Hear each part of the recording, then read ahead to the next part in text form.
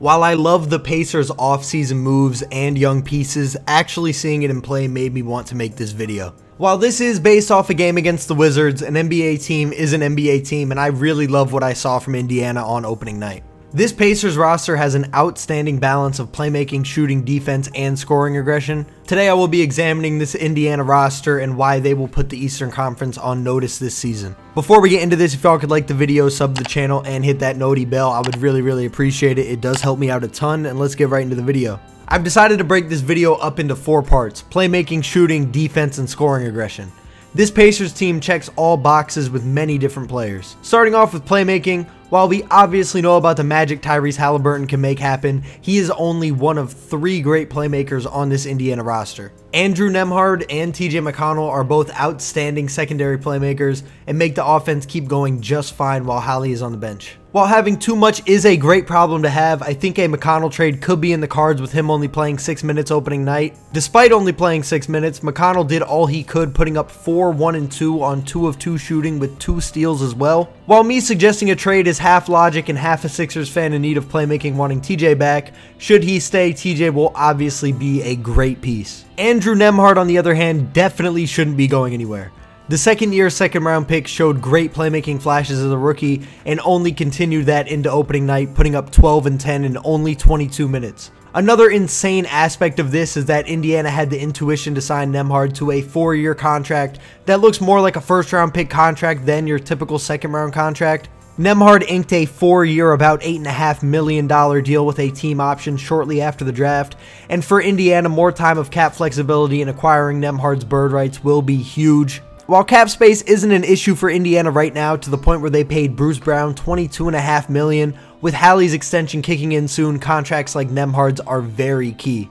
The amount of shooting on this Indiana roster is absolutely disgusting, and this combined with the amount of great facilitators is why I feel the way I do about Indiana. Essentially, everyone in this roster can shoot and shoot well. A key to me and what will be top tier floor spacing for Indiana is the shooting prowess of their bigs. Not having big men crowding the paint is great for spacing, and Myles Turner and Jalen Smith are decent shooting bigs, and even Daniel Theis has shot him at points in his career.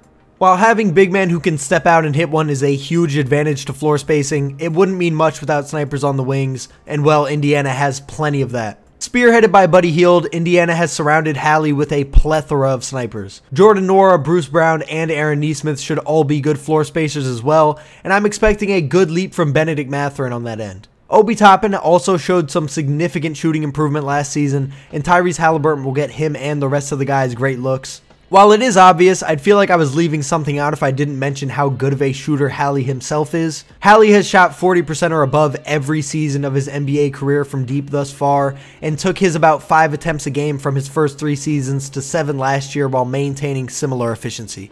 His jump shot may be borderline disgusting and not like a good way like I was talking about a couple seconds ago, but it clearly works. Now for the defense on this Indiana roster. While they don't have the greatest arsenal of wing defenders, having an elite rim protector like Myles Turner will have a much greater impact than, say, having a guy like a Sengun and two great perimeter defenders. A lot of shots and all the easiest shots are taken at the rim, and having a rim protecting big does wonders for defenses. But again, while Indiana doesn't have the greatest overall perimeter defense, they definitely have some guys. The big one is obviously Bruce Brown, who was the Pacers' marquee signing this offseason, and I absolutely love his fit in the starting lineup. While I don't know how long it will be until he is a starter, the defensive potential of Jarace Walker is also insane. Anyone who watched Summer League saw him absolutely dominate on the defensive end, and I think a Walker-Turner front court for the future will have Indiana as a top defense. Also, the tenacity Benedict Mathurin plays with gives me great hope for him as a defender. While I do love what Obi Toppin brings to the table, the future lineup of Hallie, Bruce, Mathurin, Jarace, and Myles Turner could be a top offense and defense and a legit contender in a few seasons should they stay together. The final aspect of this Indiana roster I want to speak on is rim pressure and scoring aggression. While I feel like this may be the weakness of this group right now, two guys who I've already mentioned give me hope for Indiana in this department. That would be 2022 and 2023 lottery picks Benedict Mathurin and Jarace Walker. Mathurin averaged nearly 17 a night in his rookie year, and I think if his shot developed as I think it could, he could be a legit 25 point per game guy in the right situation. While I know this is about rim pressure, my point about the shooting will open up his ability to get to the basket much more. Mathurin also showed great ability to get to the line, which isn't often seen with rookies. Ben took nearly six free throws a night last year, and from what I can see, he has a great mindset and should improve greatly. Indiana, y'all have a ton to be excited about, and I'm excited to watch this team grow with y'all. I was a huge fan of Hallie and Mathurin coming out of college and love their brand of basketball. With guys like Jarace Walker and Obi Toppin playing above the rim, snipers like Buddy Hield pulling from deep, and Bruce Brown and Ben Mathurin making all the hustle plays, I think this team will be really entertaining now and a real problem as soon as next year. Sorry for the sharp change in audio quality as I'm now recording this on my phone, but I would feel like a really, really terrible person if I did not mention TJ McConnell in that hustle plays category.